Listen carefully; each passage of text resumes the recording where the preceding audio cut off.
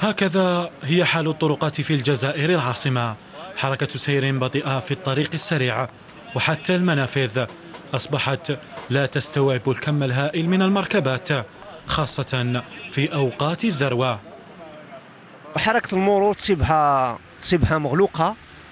دي زونطوت السريع تعاود تصيبها مغلوقة غير ثم قدامك خاصة خاصة مع les heures de pointe.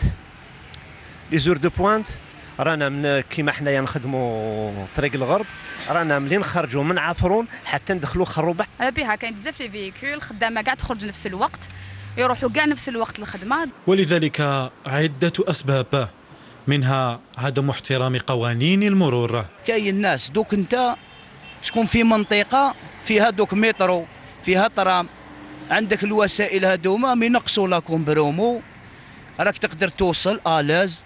وما عندكش encombrement علاش تروح تستعمل السيارة تاعك باش تروح تحبس في هذيك l'encombrement وتعطل؟ البلايص اللي يكون فيهم آه، عون الأمن كامل راهم يسلكوها.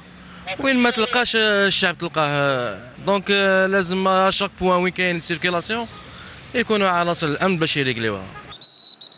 وللتقليص من الاكتظاظ المروري تعمل عناصر الأمن الوطنية على ضمان السير الحسن للطرقات من خلال منع التوقف في عديد المناطق بوضع الشرطة الراجلة ومراقبة حالة الطرقات بكاميرات المراقبة.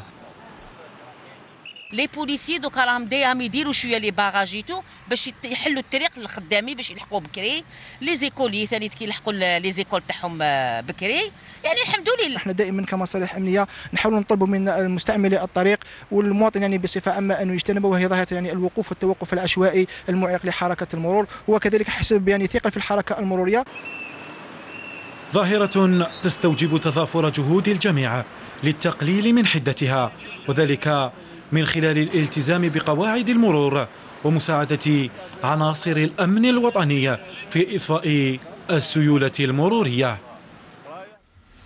وبهدف استيعاب التدفق الهائل للمركبات من جهة وتطوير شبكة الطرق والمنشآت القاعدية من جهة أخرى مخطط لتأهيل العاصمة بمشاريع حيوية واعدة ضمانا للانسيابية وتحسينا للإطار المعيشي للسكان. ملكة بن عويشة تحولات كبرى تشهدها العاصمة. منشآت فنية ومشاريع جديدة لتوسيع شبكة الطرقات. 23 مشروعا يدخل ضمن تأهيل العاصمة المتعلق بحركة الأشخاص والمركبات. الأولوية في المشاريع التي تنطلق حسب أهمية الطريق من جهة وحسب اكتظاظ اكتظاظ المروري في هذه الناحية. هناك مشاريع استراتيجية. على سبيل المثال عندنا مشروع جامع الجزائر الذي يربط جامع الجزائر بمشروع بالطريق الوطني رقم 8 شارع طرابلس. هذا المشروع تقدم فيه الأشغال جد متقدمة حيث الجسر مكتمل 100% هذا المشروع يكمن في فك الاختناق. على بلدية المحمدية وبلدية المقارية وربط الطريق السريع الشرقي دار البيضاء الجزائر بالطريق بطريق السريع ودشايح هنا على الجهة الغربية للعاصمة. مهندسون وتقنيون يسابقون الزمن للانتهاء من إنجاز ما تبقى من هذه المنشأة الفنية من الطريق الاجتنابي الجنوبي الجديد. يبدأ من 5 جويلية حتى آه، بلدية العاشور.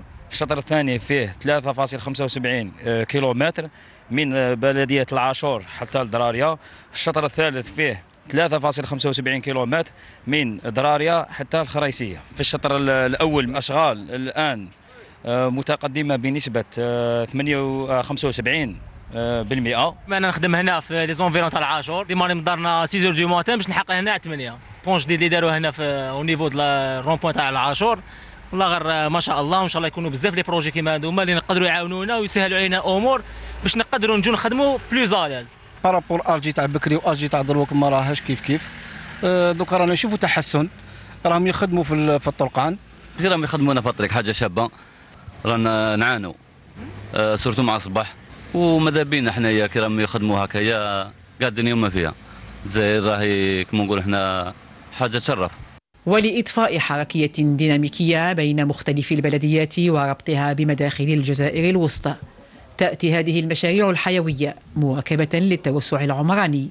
آلاف المركبات تستعمل في هذا الطريق يوميا للخروج من مدينة سيدي عبد الله نحو الطريق الاجتنابي بن عكنون أو تيبازا.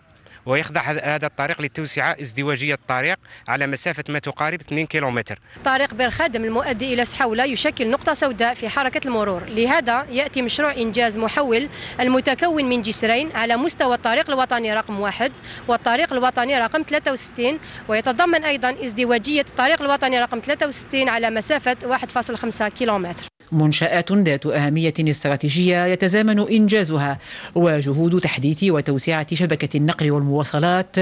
وفق هندسة المدن العصرية ستسهم لا محالة في تعزيز الانسيابية في الطرقات مما يعود إيجابا على الحياة الاجتماعية والاقتصادية.